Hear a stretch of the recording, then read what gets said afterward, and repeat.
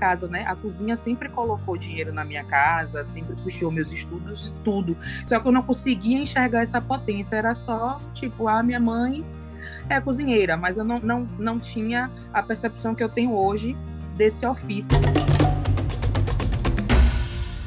Né? Então, quando eu entendo que minha mãe é uma preta de ganho, que sai mercando, que emancipou e, e que investiu na, na, na, minha educação e tal, e que eu continuo esse processo, eu começo a me identificar muito. Tanto que eu falo, eu sou uma preta de ganho, né? A cozinha continua trazendo dinheiro para minha casa.